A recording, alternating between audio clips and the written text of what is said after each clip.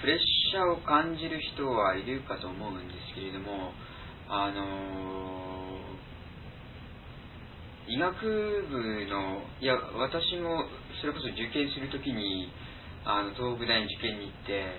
それでもう医者になったような人を見てあるいは校内を歩いてるような人が見てああ羨ましいなと思ったんですよ。この人たちはもう人生も決まってね安定してでもそうかというと実はそういうことではないというのが分かってきてあの医学部に入って例えば医学部に入っても私のような研究職に進む人もいればあの実際患者さんを見る臨床に進む人もいると。でそっちの方がずっと多いわけですよ。で臨床に行く人の中でも内科があり外科があり産婦人科がありあの小児科がありね。でそれぞれの道を選ぶと全く別の道が開けるわけですよね。ですから実際問題いろいろ悩んでおってもあの進路が決まらないのであのその時その時その時にあの授業を受けたりとかね。その時に全力を尽くしてそれでその都度努力していけばおのずとやりたいことは見つかる。まあ見つからない人も時間かかる人もいますけどね。で私の場合はまああのあの神経の研究がしたいというので研究をしてそっちの道に入って。だけど本当に今の研究をしたいというふうになったのは学位も取って4年も勉強して学位も取って臨床もやってでアメリカに来て2年くらい経ってからやっとこれがやりたいみたいなことが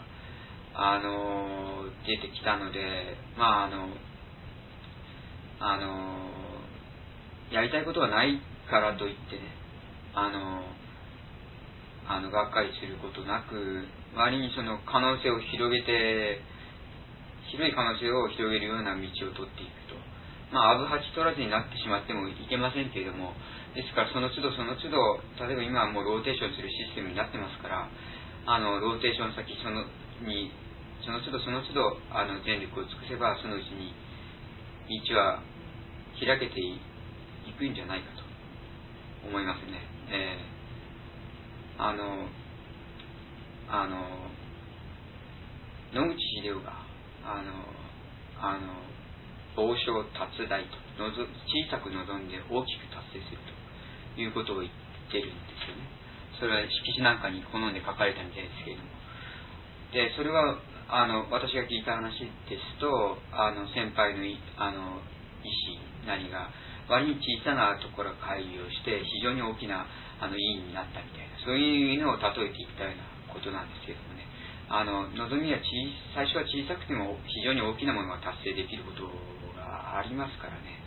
あの、まあ、望みを大きく持つことももちろん大切ですけどもね。あの小さな望みでもがっかりすることはないです後で思いがけない自分じゃ考えられなかったようなあのところまで上り詰めることもありますし私なんかも最初に研究を始めた時は英語の論文が一つでも書けるなんていうふうには夢のようなことですで留学した時はまあたかだか15年前ですけれども右も左も分からずにそれで15年後の今は逆に留学生を受け入れる日本からのそういう立場になってまあ15年前は思いもかけなかったところにいるわけで。ですから小さく望んで傍聴を大きく達成する達大という。あのそういうこともあるという、まあ、野口英世博士も好んで、あれほどの人物もね、使われていた言葉ですから。で、まあ、そういうことは、一つ頭に置いておかれるといいと思いますけど、で、また逆に、まあだから、望みは大きな望みを持つのは僕はいいと思います。私は夢を今、未だに追い続けてますし、それが人生の、で一番楽しいことだから。で、その時に、まああの、あの、その自分の夢をプレッシャーにしないということですよね。ですから、夢を持ち続けましょう。夢は夢で、それでノルマじゃない。達成できなくてもがっかりしないということを頭に置いとくのはいいと思いますよね。で、あの、えっ、ー、と、ですから英語で言うとエクスペクテーションと期待というんですよ。期待しないんですよね。期待してしまうとあのそれがダメになった時はがっかりしてしまいますからね。でも夢であったり希望であったりホープであったりえっ、ー、とドリームであったりすると叶えば嬉しい。けども叶わなくてもその夢を追い続ける過程が楽しいということで。ですからあのエクスペクトしないで期待しないで。夢を持つとそういう姿勢が大切なんじゃないかと思いますけども。これは僕はこれはこれこれも野口先ほどの野口秀夫博士でしたけども。これはあのテレビドラマの「大草原の小さな家」というドラマを作ったあの俳優のマイケル・ランドンが残した言葉でとにかく彼は子供の、子供に対する番組を作ったんだけども、あの、非常にいい大草原の小さな家という、僕もそれを見て育ちましたけども、彼がインタビューの中で答えているのは、私は子供には